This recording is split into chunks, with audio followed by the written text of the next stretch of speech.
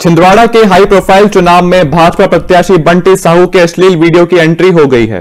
इस मामले में आज पुलिस पूर्व मुख्यमंत्री कमलनाथ के बंगले तक पहुँच गई। छिंदवाड़ा के बीजेपी प्रत्याशी विवेक बंटी साहू ने कमलनाथ के पीए आर के निगलानी के खिलाफ पुलिस में शिकायत दर्ज कराई है। उनका आरोप है कि कमलनाथ के पीए आर के निगलानी ने उनका आपत्तिजनक वीडियो वायरल करने के लिए पत्रकारों को 20 लाख रुपए का प्रलोभन दिया था। विवेक बंटी साहू ने 20 लाख रुपए की बातचीत का एक वीडियो भी जारी किया है। शिकायत के बाद पूरे मामले को लेकर सीएसपी अजय राणा पूरे पुलिस बल के साथ कमलनाथ के शिकारपुर स्थित बंगले पर पहुँच गए।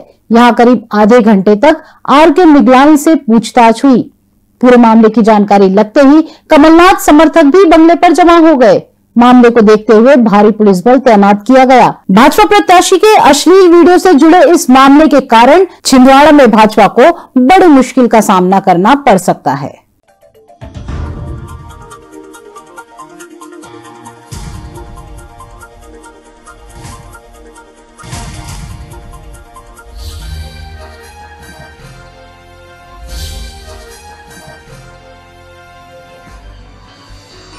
आप देख रहे हैं दखल न्यूज़।